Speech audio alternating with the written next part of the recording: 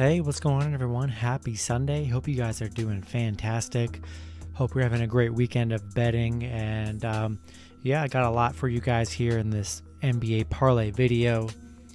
And um, yeah, crafted up a lot of stuff I'm going to give it to you guys right here.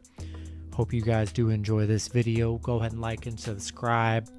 Hopefully, these hit for you, and hopefully, these give you a good building block, you know, with what to use because there's 10 games, so there's a lot, a lot of different combinations of parlays and teasers you could craft up. So, going to start, this will all be in the description as well. So, starting with a three team money line teaser, or er, three team money line parlay, we're going to go Celtics money line, Nets money line, and Suns money line.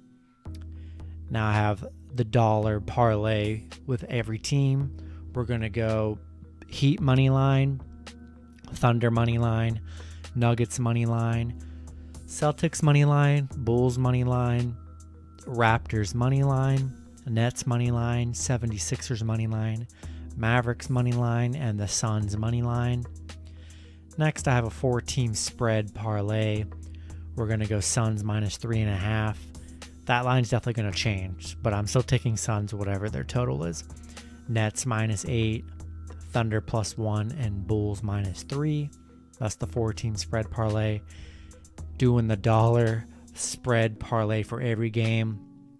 We're going Heat minus four and a half, Thunder plus one, Nuggets minus five and a half, Magic plus eight and a half, Bulls minus three, Cavs plus seven and a half, Nets minus eight, 76ers minus one, Mavericks plus one and a half, and the Suns minus three and a half. Now I got two teasers for you. First, I got the I got a four team 10 point teaser minus 130 odds. If your bookie allows you to do it, go ahead. I use my bookie. They allow me to do 10 point teasers, which I love. We're going with the Suns plus six and a half, Thunder plus 11, Magic plus 18 and a half, and the Cavs plus 17 and a half. And then now, which we have a three team five point teaser, which should be available for most bookies. We're going to go Magic plus 13 and a half. We're going to go Nuggets minus 0.5. And then we're going to go Bulls plus two. So that's going to do it. There's a lot of stuff, a lot of stuff in there, a lot of fun stuff to, to see if they hit. And uh, yeah, that's going to be it. Those will be in the description. So you can uh, look at all those. And um, yeah, I hope you guys enjoyed the video. Go ahead and like and subscribe.